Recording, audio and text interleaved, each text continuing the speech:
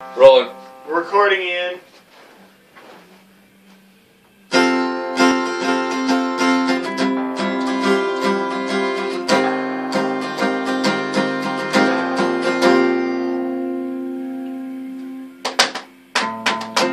dune is a hill of sand built either by wind or water flow. Dunes occur in different forms and sizes, formed by interaction with the flow of air or water. Most kinds of dunes are longer on the windward side, where the sand is pushed up the dune and a shorter slip face in the lee of the wind. The valley or trough between dunes is called a slack. A dune field is an area covered by extensive sand dunes. Large dune fields are known as ergs.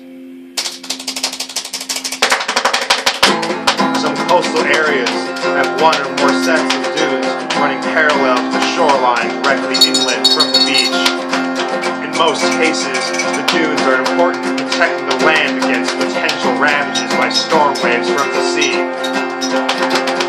Although the most widely distributed dunes are those associated with coastal regions, the largest complexity of dunes are found inland in dry regions associated with ancient lakes or seabeds. Dunes also form under the action of water flow, fluvial processes, on sand or gravel beds of rivers,